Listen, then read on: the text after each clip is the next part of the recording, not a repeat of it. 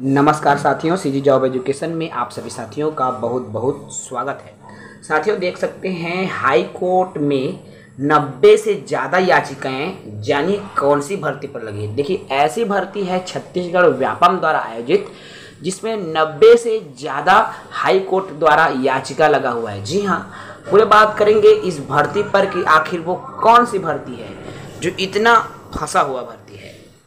जो साथी नए हैं भाई चैनल को सब्सक्राइब कर लेंगे। देख सकते हो, आपको वीडियो में दिख रहा होगा, ये जो पेपर कटिंग है दैनिक भास्कर की, जो आज ही की है, अर्थात तेईस सात दो हज़ार तेईस, बिलासपुर, ठीक है? दैनिक भास्कर की ये पेपर कटिंग है। व्यापम से हुई पुलिस भर्ती बनी सबसे विवादित भर्ती। देखिए, अभी तक की सबसे विवादित भर्ती की मैं बात करूँ तो पुलिस विभाग में जो एसआई भर्ती की हुई है, वे है क्योंकि हाई कोर्ट में 90 से भी अधिक जो याचिकाएँ हैं, इस भर्ती में लगी हुई है। अब जो कैंडिडेट्स हैं, परीक्षार्थी हैं सुको जाने की भी तैयारी कर रहे हैं।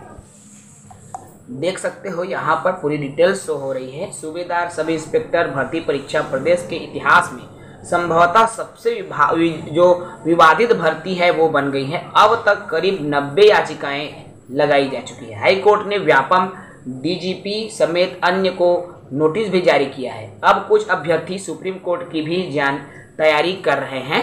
सुप्रीम कोर्ट जाने की भी तैयारी कर रहे हैं। अभ्यर्थियों का कहना है कि व्यापम ने परीक्षा को लेकर अपने ही नियमों का पालन नहीं किया। देखिए, अभ्यर्थियों का ये सवाल है व्यापम को लेकर कि वे नियमों का पालन नहीं किया है।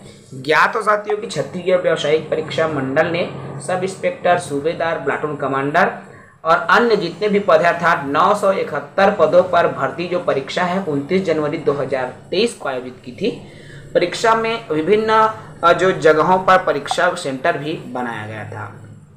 देखो, प्लाटून कमांडर की सूची में महिलाओं को जगह, जबकि प्लाटून कमांडर में दो सौ सैंतालीस पदों पर भर्ती होनी थी। विज्ञापन में विशेष रूप से उल्लेख किया गया था कि महिला उम्मीदवारों का प्लाटून कमांडर के लिए पात्रता नहीं होगी, जबकि 16 मई 2023 को मुख्य परीक्षा के लिए जो पात्र अभ्यर्थी आए, उसमें महिलाओं के भी नाम डाल दिए गए हैं। अभ्यर्थियों का कहना है कि इसी वजह से अठारह पुरुष अभ्यर्थी शारीरिक दक्षता परीक्षा में शामिल नहीं हो पाएँगे।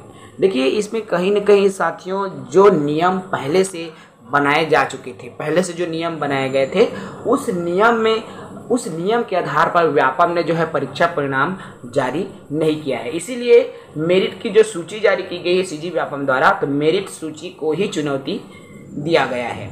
सूची में देखिए 20 गुना अभ्यर्थियों को मेरिट के आधार पर चयनित किया जाना था, लेकिन प्रारंभिक परीक्षा में ही वर्तमान छठवीं सूची तैयार कर दी गई है। जबकि प्रारंभिक परीक्षा में 20 गुना जो है, देखिए 20 गुना सीट पर बुलाना था, ठीक है? जितने सीट है उसके 20 गुना पर बुलाना था, लेकिन शुरू से ही छटनी कर दिया गया है। साथ ही साथ भूतपूर्व सैनिक के जो अभ्यर्थी हैं, वे भी जो है हाई कोर्ट चले गए हैं और उनके माध्यम से भी याचिका दायर की गई है। युवाओं और सेवा से रिटायर हो चुके भूतपूर्व सैनिकों के लिए एक समान फ़िज़िकल टेस्ट का प्रावधान किया गया देखिए, इसके लिए फ़िज़िकल टेस्ट की नीति भी अलग होनी चाहिए थी। उसको लेकर ये लोग भी जो है याचिका दायर कर चुके हैं एस भर्ती को लेकर। तो कहीं कहीं ये जो भर्ती है, इतिहास में ऐसी भर्ती बनती नज़र आ रही है, जो पूरी तरीके से हाई कोर्ट के भेंट चढ़ रही है। फ़िलहाल इस वीडियो में इतना ही, जो साथी नए हैं भाई चैनल को सब्सक्राइब करेंगे। जय हिंद।